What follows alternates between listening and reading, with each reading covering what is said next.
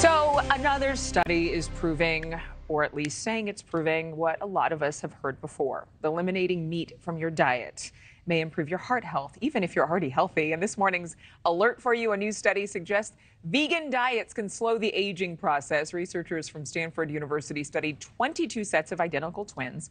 One twin would eat a vegan diet while the other twin ate an omnivorous diet.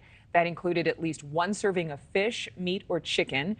At the end of the two month experiment, two months, Researchers say the twin who ate the vegan diet had lower cholesterol and insulin levels and even lost weight. Let's bring in Dr. Dave Montgomery, a News Nation's medical contributor. Okay, Dr. Dave, listen. Every once in a while, I myself will indulge in a vegan diet because it just seems right, like my body needs to take a break. But what in the world can science really teach us about a two month experiment? Doesn't it need to be longer than that to prove that we can live longer by not eating meat? Yeah, well, you know, that's a really great point, Adrienne. But I think what they're saying is it only takes two months to see some very real differences in these diets. And I don't think that they're trying to say everybody should be, you know, sort of, you know, plant based and eat only, uh, you know, vegan diet.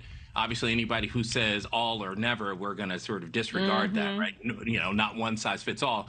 But what they are saying is really, really clear.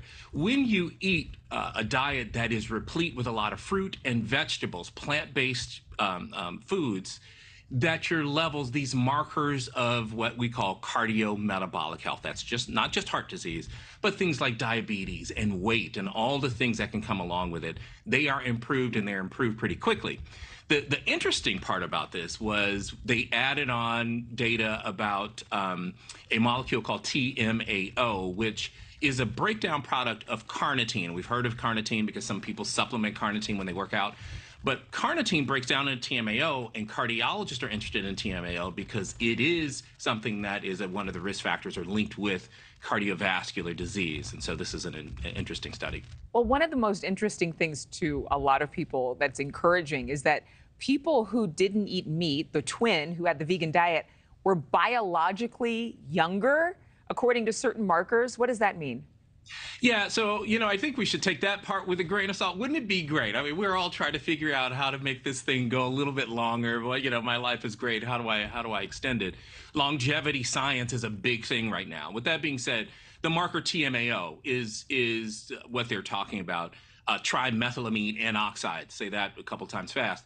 With that being said, it's been associated in some studies with um, accelerated aging on the cellular level. We haven't seen it necessarily in humans um, but I think, you know, what it's saying overall is these markers that are associated with other chronic conditions are improved with more vegetables and fruit. Well, it kind of makes sense. Well, it makes sense, but I just don't know. Does this study really say that all of us should eliminate meat completely, or should we take those little pauses, just like this group did with the two month study, and just, you know, intermittent fasting, but with steak? Instead of food. Yeah, I love that. And there are people who are going to write you and say, "Yes, yes, Adrienne, that was it."